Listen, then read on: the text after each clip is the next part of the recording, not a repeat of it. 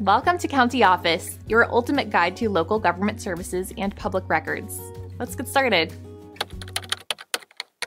Are arrest records public information in Denver, Colorado? Imagine you're a detective in a movie sifting through files and folders. Only this isn't fiction, and you're looking for arrest records. In Denver, Colorado, the plot thickens. Are these records a closed book, or can anyone take a peek? Let's delve into the world of public records. Public records are documents or pieces of information that are not considered confidential. Birth certificates, court documents, and yes, even arrest records can fall under this category. Each state sets its own stage for access to these records. Colorado, known for its majestic mountains, also has laws that could be considered equally grand in the realm of transparency. The Colorado Open Records Act, CORA, is like a key to many doors. It opens up access to government held information to the public. But like any good mystery, there are twists and turns. Arrest records, specifically, are indeed a part of the public domain in Denver. This means that with a few clicks or a visit to the right office, you could access these records. But remember, while the records are public, the details are not a free for all.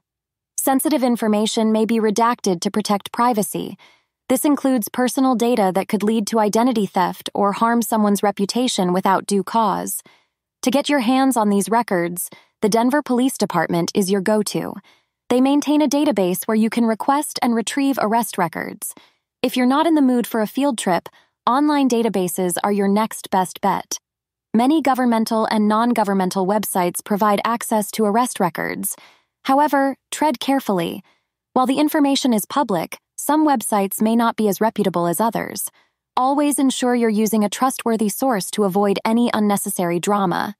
Now, for the grand finale, if you're in need of arrest records from Denver, the following resources are your trusty sidekicks in this investigative journey.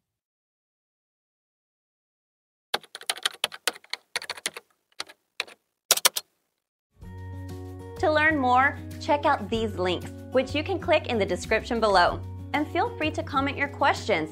We're here to help. Thanks for tuning in to our video. Please like and subscribe and leave a comment below. See you in the next video.